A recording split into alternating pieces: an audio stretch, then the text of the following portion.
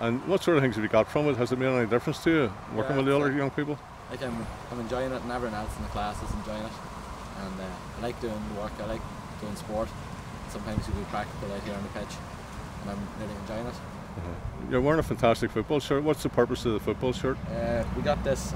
We designed it on the first day. Who designed it?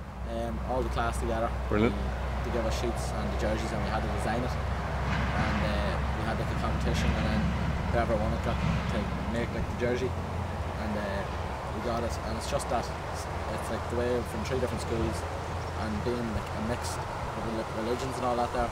So it's just that we're all the same, the same jersey.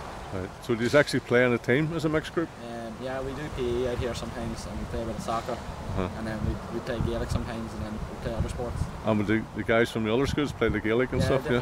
They, they were interested to learn it, like Uh-huh. so.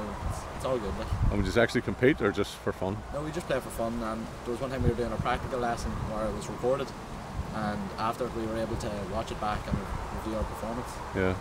Okay. And would you recommend this sort of approach to other young people Uh, where there's more involvement? Yeah. Definitely, yeah, it's, it's a really good course, like, and you get to meet new people as well. It's good.